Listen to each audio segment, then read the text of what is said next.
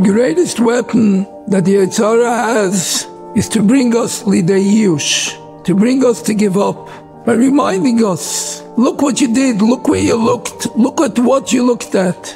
How can you say that you're going to be good? Look at what you did. But a Yid looks at it a different way.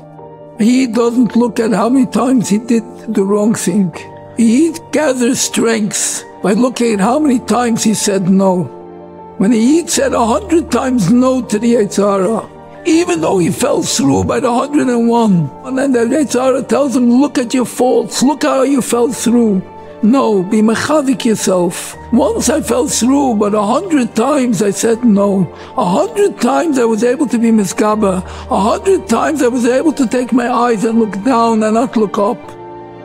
The Mishnah said in Pirkei Avos, Alti Rasha b'fnei atzmacha. Don't look at yourself that you're a Rasha, that you did an Avera.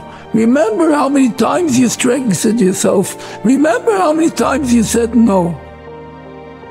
On the other hand, the Gemara says in Masechtas Nida that before a person comes to the world, they make him make a shvur. Ha'olam kula yoimrim alecha tzadikata tehei beinecha kirasha.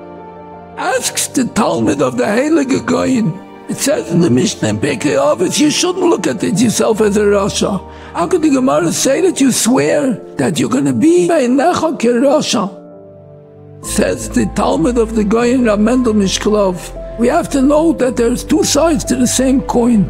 From one side, we have to be mechazik ourselves from the good that we do and from how many times we're misgaber.